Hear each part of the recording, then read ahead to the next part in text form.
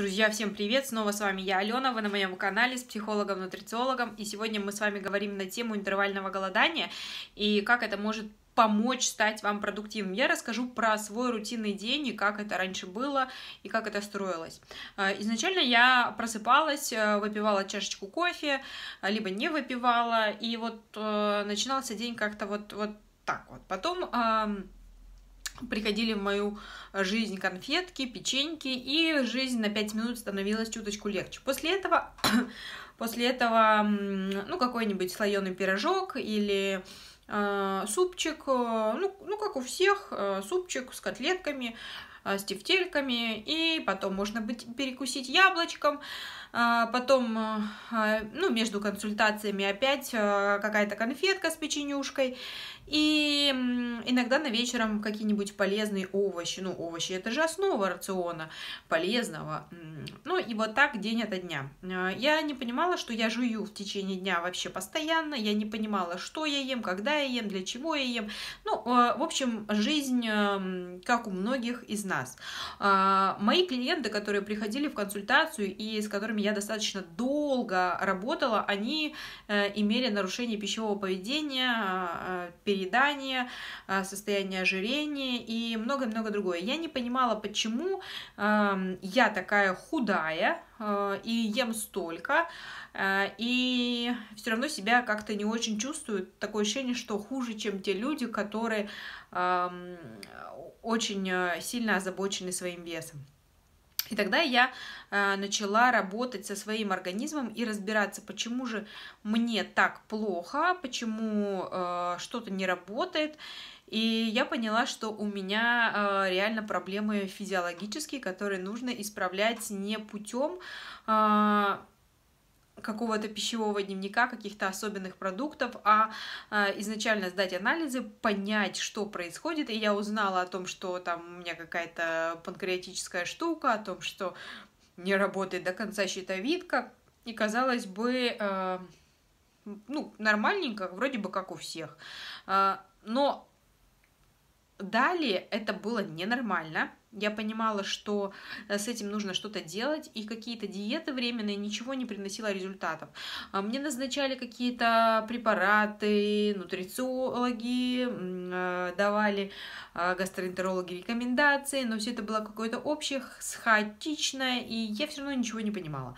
Тогда, друзья, тогда я решила, что я займусь этим делом ну, серьезно. Я отложу всех своих клиентов и начну работать со своим здоровьем. Тогда я узнала, что такое такое интервальное голодание и как его нужно использовать, и начала э, практиковать э, эту штуку. Но я тоже не понимала, что если я не скомпенсирую, не сбалансирую рацион, то это все будет как-то, ну, мягко говоря, не очень. А, далее э, я решила, попробовав это, что мне это не подходит, потому что, ну, не сработало, и как-то чувствовала себя также, ну, достаточно не очень.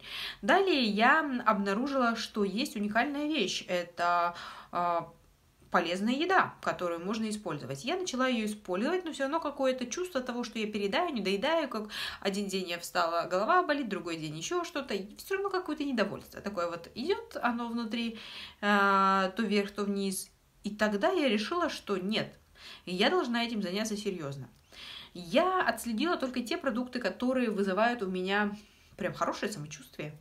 А, я отследила те продукты, от которого я ментально себя хорошо чувствую. И э, я узнала, что такое несовместимые продукты, как с ними взаимодействовать и как э, наполняться едой, а не просто есть еду.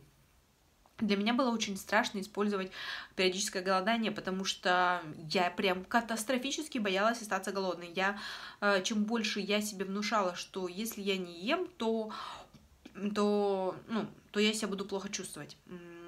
И я знала, что у меня проблемы с позвоночником. У меня еще была такая фишка, знаете, друзья, о том, что если я себя не докормлю, э, то э, вот еще больше это состояние ухудшится.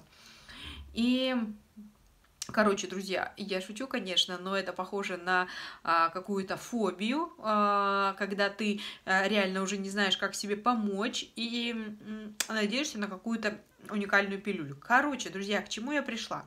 Я пришла к тому, что э, есть реально небезопасная еда для всех людей, а, есть э, интервальное голодание, которое помогает, но при условии того, что ты его неправильно используешь, оно тоже может вредить. А, при условии того, что у тебя есть определенные заболевания, оно тоже может вредить.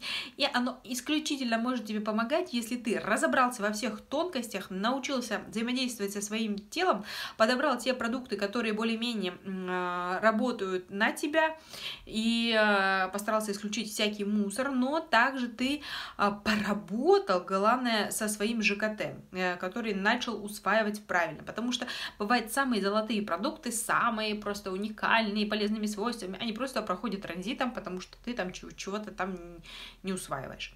А, вот э, так и сложилось в моей жизни. Я начала, в общем, интервально голодать, используя а, продукты, которые мне подходили. И Могу сказать, что какой результат.